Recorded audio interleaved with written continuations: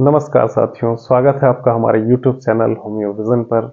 और आज हम बात कर रहे हैं एक ऐसे पोषक तत्व की, एक ऐसे जीवन सत्व की, जो हमारे शरीर के विकास और स्वस्थ संचालन के लिए बहुत ही ज़रूरी है।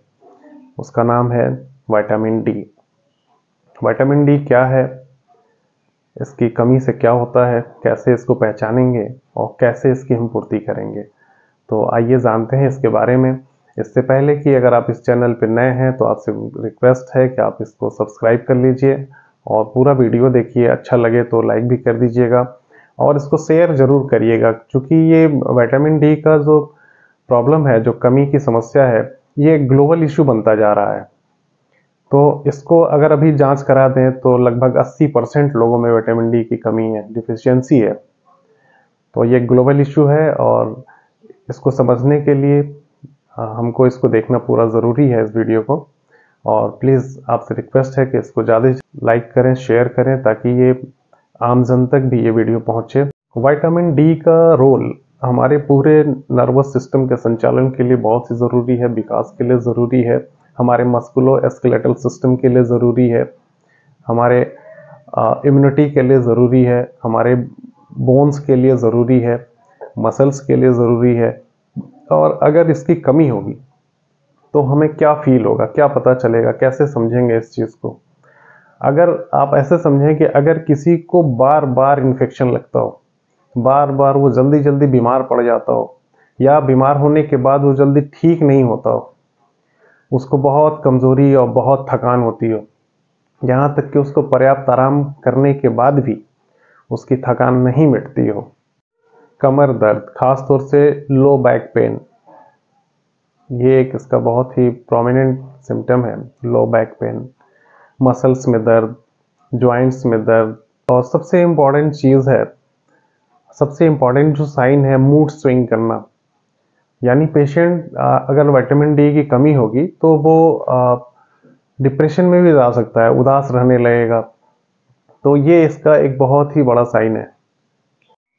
विटामिन डी जब हमारे शरीर में कम होगा तो सबसे जो ज़रूरी तत्व है कैल्शियम और फास्फोरस, इसका एब्जॉर्बसन नहीं होगा। अगर आपके डाइट में अगर ये प्रॉपर जा भी रहा है तो ये एब्जॉर्ब नहीं होगा और अपने प्रॉपर फ़ंक्शन को ये परफॉर्म नहीं कर पाएगा। तो इससे क्या होगा कि हमारी बोन जो है ना, ये डीमिनरलाइज होगी और हमें सेकेंडरी हाइपर पैराथाइडिज्म की समस्या आएगी। और बोन जब डी मिनरलाइज होगी तो बोन में सॉफ्टनिंग आएगा, जिसको हम ऑस्टियोमलेसिया कहेंगे। और बच्चों में एडल्ट में ये होता है और बच्चों में यही रिकेट्स के रूप में दिखेगी। और जब फास्फोरस और कैल्शियम का एब्जॉर्बन नहीं होगा, ये जब हमारे शरीर में बहुत नीचे चले जाएँगे लो लेवल पे हो जाएगा तो हमारी बोन जो है, उसकी फ्रेजिलिटी की संभावना बढ़ जाएगी। छोटी छोटी सी चोट से गए या झटके से हाथ भी मुड़ गया, पैर भी मुड़ गया तो फ्रैक्चर की संभावना बढ़ जाएगी। ऐसे में पेशेंट अपने शरीर को कोऑर्डिनेट नहीं कर पाता मसल्स उसकी कोऑर्डिनेट नहीं करती हैं तो चलने फिरने में वो गिरने की संभावना अक्सर बनी रहती है।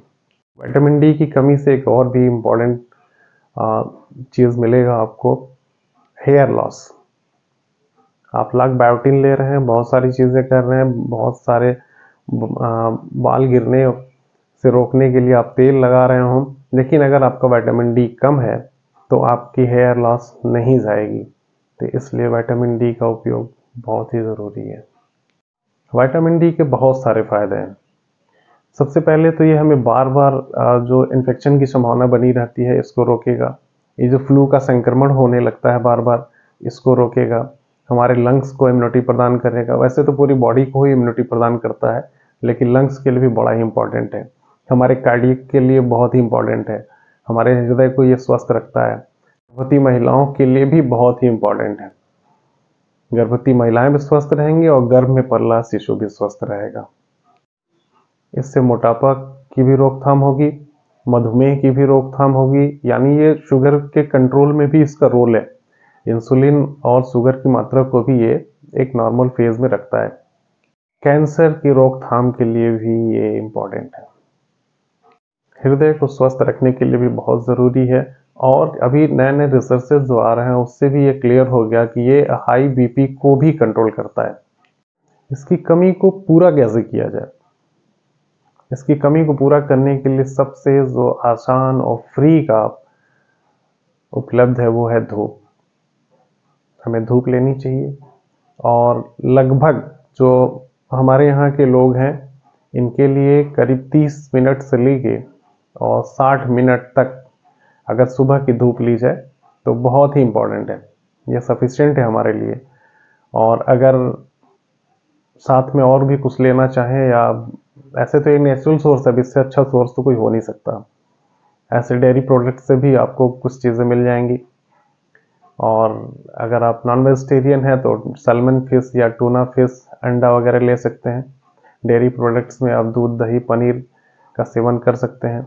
हरी साग सब्ज़ी का सेवन करिए। अगर शरीर में बहुत ज़्यादा इसकी कमी है तो हमको उसको तुरंत उसके लेवल को बढ़ाना होगा। ऐसी कंडीशन के लिए हमें सप्लीमेंट की ज़रूरत पड़ सकती है और ये सप्लीमेंट आप खुद से ना लें। अपने चिकित्सक की सलाह से ही लें, क्योंकि अगर ये एक्सेस हो गया, अगर विटामिन डी का हाइपोविटामिनोसिस हो गया तो ये आपके लिए और भी दिक्कत कर सकता है। तो इसलिए आप चिकित्सक के संपर्क से ही, सलाह से ही ये आप लेना शुरू करेंगे, सप्लीमेंट वगैरह। आज के लिए बस इतना ही। धन्यवाद। नमस्कार।